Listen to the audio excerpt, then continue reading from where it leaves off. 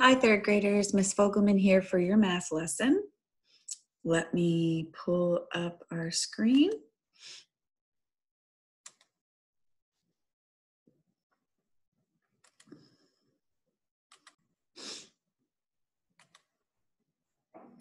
Okay, so we today on September 10th are going to continue talking about multiplication and arrays. And our learning target today is that the student will use an array to complete a multiplication word problem.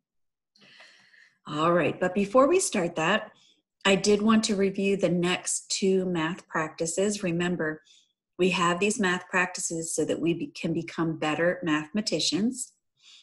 Um, today we're talking about number six and number seven. Number set, six is to attend to precision. That means that I can work carefully and check my work. That means you're working carefully, neatly, and you're using um, math to check your answers.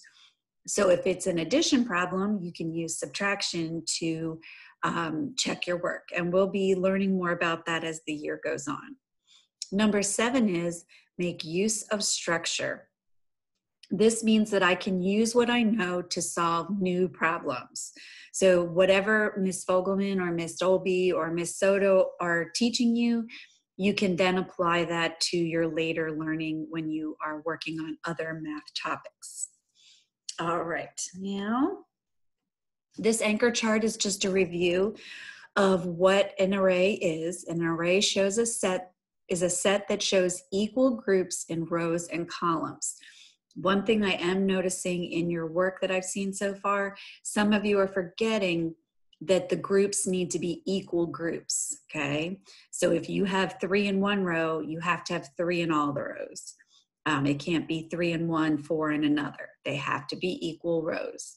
Um, they also have to be equal um, columns. So you're not only having um, the same amount in each group, but you're also having um, the same um, the same columns. So please make sure that when you're drawing your arrays that you are um, making sure they're even and they all are equal groups. All right, so today's problem is there were two rows of tulips with six tulips in each row. How many tulips are there? So before we start, um, we what are we trying to find out in this question? The first thing we need to find out is what is the question asking us? So first off, it's telling us that we have two rows of tulips with six tulips in each row. So the two rows are the number of groups. So we have two groups of tulips, tulips. And within each group, we have six tulips. That's the number in each group. Now the question is asking us how many tulips are there? So we want to know within both, um, with both those groups together, how many tulips we have. So in order to do that, we are going to use the counters again. Let me scan down and get my counters. All right, counters are an easy way to make those equal groups and make sure our work is neat. Okay, so the question told us that we have two rows or groups of tulips. So here's one row Here's two rows. And we have six tulips in each row. Now remember, you have to count these two. So it's one, two, three, four, five, six, and then the next group also has six. So one, two, three, four, five, six. So we have our two groups of six tulips. And you see with the counters, we can make our um, work nice and neat, which makes it easier when we're doing our work. Okay, so the next part of the question says, what would be our repeated addition problem? So let's go ahead and take a look at that next. Um, what would be our repeated addition problem? So what are we adding together when we're trying to find out how many tulips we have?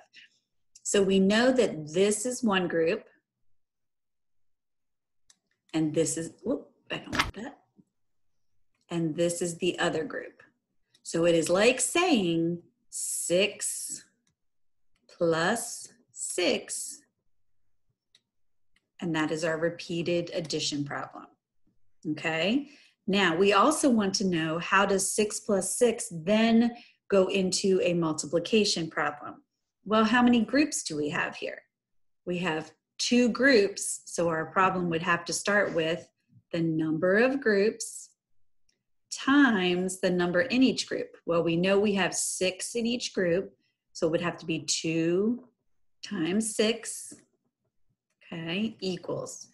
Well, of course, both of these are going to equal the same thing because we have the same um, drawing up here or array.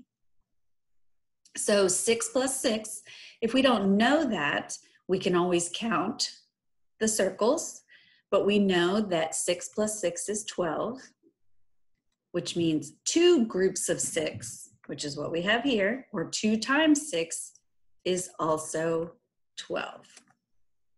All right, so that is how we do our array. Please remember that your number of groups comes first in your multiplication problem. That's the rows. Then the number in each group, which is the columns. Okay, some of you are turning that around. We need to make sure we have number of groups times the number in each group. All right, let's see. All right, so before we finish, I do want to start showing you videos about multiplication facts. This first one is all about a number times one.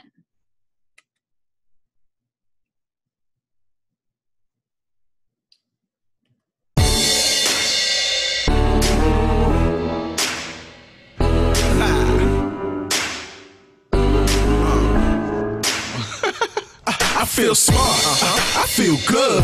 I feel smart. I feel good. I know my math, man. I know my facts. I know my math, man. I know my facts. I feel smart. I feel good. I feel smart. I feel good.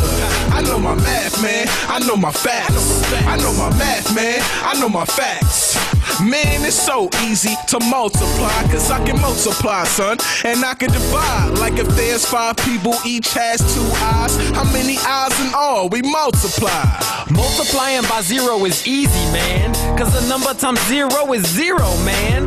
Five times zero is zero. Eight times zero is zero. Ten times zero is zero. Think of it like this if you had ten people and each person had zero cats, how many cats would you have in all? Hmm, ten times zero, zero cats. I feel smart. Uh-huh. I feel good. I feel smart. I feel good. I know my math, man. I know my facts. I know my facts. I know my math, man. I know my facts. I feel smart. I feel good. I feel smart. I feel good. I know my math, man. I know my facts. I know my math, man. I know my facts. Yo, check. When you multiply by one, you get the same number that you started from. So seven times one is seven. Eleven times one is eleven. Yo, tragic, do another one. Like if six kids each had one baseball, how many balls would they have in all? We can figure it out. It's so quick, six times one is always six. Oh. If you wanna learn your facts, do what I did. Listen to a song and memorize it. Then open your eyelids, look at a number. Yeah, you can multiply and divide it. If you didn't hear it, just rewind it. This math here is fun. Oh, it's not a virus. I could teach a times tables to a pirate. He says, Arr, I'm the multiplying pirate. I feel smart. Uh-huh. I feel good. I feel smart. I feel good. I know my math, man. I know my facts. I know my math, man. I know my facts. I feel smart. I feel good. I feel smart. I feel good. I know my math, man. I know my facts. I know my math, man. I know my facts. Ha. Okay, so like they said in the video, um, anything times zero is zero. So no matter what the number is, if you're multiplying it times zero, it's zero.